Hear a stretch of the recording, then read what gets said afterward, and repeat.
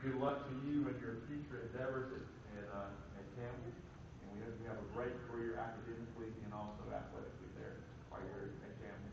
And congratulations to you folks as well too. I know y'all invested a lot of time and energy and effort on getting her to and from practices, and now it's time to uh, go watch her play, sit down and relax and enjoy her uh, her next level of play, the next level.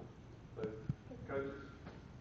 Um, I'm Coach Brian, Coach Sam Moore, the assistant coach, and then Coach uh, Nick Sparrow. Um, it's a great honor to be here uh, and have this opportunity to coach the last four years. Um, she's done a great job on the court. She has racked up accolades each year, has been MVP for Southwest the last four years.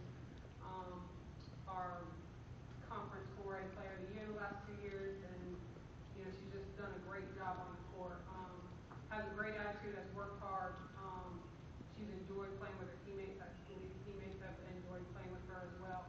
She's been a huge force for our program here, um, and I've been very impressed uh, with her motivation this last year to get her academics so she's able to um, play next year at Campbell. Uh, I've appreciated her parents' support, uh, Mary's support, um, her sister and brother coming to the games and supporting me um, and helping her get to the next level. Um, she's worked really, really hard, and uh, I just wish her the best. And um, I'm going to miss her. Coach, would you like to say anything? I I have a long story. Yes, Sammy. I've been watching this lady um, for six years now, and uh, mom and parents, all you know, you guys have, she has a great support factor, and um, I just want to say thank you for the opportunity to, to coach, work with Coach Brian over here with her. She's an awesome basketball player. I'm so happy with her. JP, uh, they're going to Campbell University. Those of you who may not know, that's where I went to school, and um, I'm looking forward to seeing her play, and I'm really gonna miss her. Um, as I said, the six years from middle school to now, um, in middle school, my record is about 100 games almost, and 21 losses, but Southwest Middle School, when Zane and them were there, they just, they just blew me away.